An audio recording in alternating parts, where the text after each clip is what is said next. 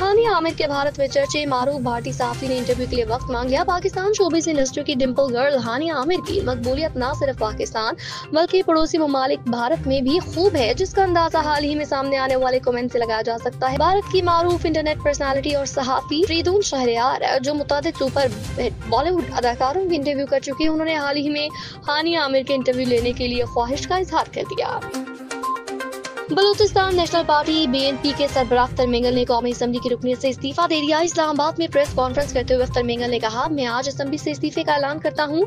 ये बात मैंने किसी को नहीं बताई, लेकिन आज अभी इस प्रेस कॉन्फ्रेंस में बता रहा हूँ। उन्होंने कहा, मैं अपने लोगों के लिए कुछ न कर सका। बलूचिस्तान के हालात देखकर फैसला करके आया था। मैं रियासत, सदर और वजी अजम पर अदम एतम का ऐलान करता हूँ। पूरे निज़ाम पर अदम एतम कर रहा हूँ।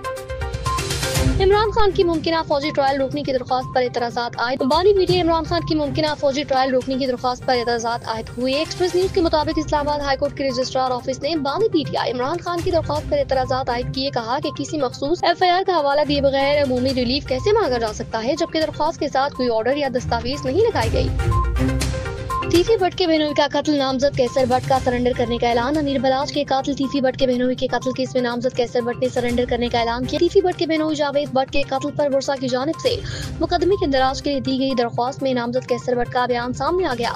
कैसर भट्ट ने अपने बयान में कहा, हमारा इस कत्ल से कोई ताल्लुक नहीं। हम पुलिस के सामने सरेंडर करेंगे और पुलिस को मुतमिन करेंगे। मौसम खराबी और बद इंतजामी एक परवाज मनसूख बाईस ऐसी ज़्यादा तखीर का शिकार। मुल्क के मुख्तलिफ़ एयरपोर्ट पर मौसमी खराबी और इंतजामी मसाइल की वजह से एक परवाज मनसूख की गई, जबकि बाईस ऐसी जायद मुल्की और गैर मुल्की परवाजें गैर मामूली तखीर का शिकार।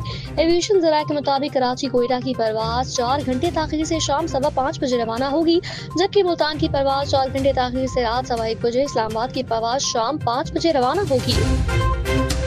क्रेडिट कार्ड अनब्लॉक कराने के लिए कॉल वसूल खातून ने बहत्तर लाख रुपए गवा दिए। भारत में बहत्तर साल खातून ऑनलाइन फ्रॉड का शिकार बनी, जिसके तहत उन्होंने अपने बैंक में मौजूद बहत्तर लाख रुपए गवाए। टाइम्स ऑफ़ इंडिया की रिपोर्ट के मुताबिक ये वाक्य रियासत केरला में पेश आया, जहाँ मुतासर खातून को मुबैना तौर पर रिज़र्व बैंक ऑफ़ इंडिया के एहलकार के तौर पर जालसाजी की कॉल मौसू हुई, जिसने उन्हें बताया उनका क्रेडिट कार्ड सिक्योरिटी खर्चात की वजह से ब्लॉक कर दिया गया है। सुप्रीम कोर्ट में केस की समाप्त के दौरान वकील नईम बुखारी और चीफ जस्टिस में मुकालमा हुआ, जिस पर नईम बुखारी ने कहा, आप आवाज़ ऊँची करके समझते हैं, मैं डर जाऊँगा, मैं डरने वाला नहीं हूँ। सुप्रीम कोर्ट में चीफ जस्टिस पाकिस्तान की सरबराही में तीन रुकनी बेंच ने मुनाज समेत दो रेस्टोरेंट्स की बंदिश के खिलाफ नजरसानी दरख्वास्तों पर समाप्त की, जिस दौरान रेस्टोरेंट मालिकान के वकील नईम बुखारी ने दलाल दिए। दौरान समाज चीफ जस्टिस ने कहा, हमने तो रेस्टोरेंट मालिकान की रजामंदी ऐसी फैसला दिया था, जिस पर वकील नईम बुखारी ने कहा, वो रजामंदी रजा कराना नहीं दी गई थी। दो ही ऑप्शन दिए गए थे उसी दिन बंद कर दें। या वक्त लें। रेस्टोरेंट के मुख्तलिफ़ शेयर होल्डर्स हैं। हमें मौसर हक समात नहीं दिया गया। नईम बुखारी ने कहा, माजी में एफ़ आई ए रेस्टोरेंट मालिकान के खिलाफ तहकीकत कर चुकी है। तहकीकात में निकला के मालिकान ने कोई जुर्म नहीं किया। इस पर चीफ जस्टिस ने कहा, Mr Bukhari are you serious F I A का इससे क्या काम? लाइसेंस की तजदीद न होने पर एफ़ आई ए ऐसी तहकीकत करवा लें की कोई जुर्म तो नहीं हुआ। एफ़ आई ए का इस सारे मामले पर क्या इख्तियार है? नईम बुखारी ने कहा, मेरे मुल्क में कई बार जिनका इख्तियार नहीं था, वो बहुत कुछ करते रहे। उन्नीस में क्या होता रहा, वो भी सबको मालूम है। इस पर चीफ जस्टिस ने कहा, हमारी पैदाइश से पहले के वाकत बताकर हम पर उंगली न उठाएँ। चीफ जस्टिस के रिमार्क्स पर नई बुखारी ने कहा, आप आवाज़ ऊँची करके समझते हैं, मैं डर जाऊँगा। डरने वाला नहीं। आपने खुद भुटो रेफरेंस में लिखा, माजी में क्या होता रहा? जस्टिस काजी फायजीसा ने कहा, ये बुनियादी हकूक का मामला है। नेशनल पार्क में जानवरों के हकूक है। हाईकोर्ट का फैसला मौजूद था। फिर भी आप कमर्शियल सरगर्मियाँ करते रहे। आप कानून की खिलाफ वर्जी में रेस्टोरेंट चलाते रहे, इस पर नई बुखारी ने कहा। लाइसेंस मौजूद था। समाप्त के दौरान नई बुखारी ने चीफ जस्टिस ऐसी ऊँची आवाज़ में दलाइल पर माफ़ी मांग ली कहा, मेरे चीफ जस्टिस मुस्कुरा रहे हैं। मैं आवाज़ ऊँची होने पर माफ़ी माँगता हूँ। इस पर चीफ जस्टिस ने कहा, माफ़ी मांगने की कोई ज़रूरत नहीं, हम आपसे बड़े हैं। बाजुकात केस समझने के लिए मुश्किल सवाल पूछते पड़ते हैं। बात आज़ाद अदालत ने नेशनल पार्क में रिहायशी सरगर्मियों के खिलाफ फैसले आरोप नजरसानी अपीलों का फैसला महफूज कर लिया।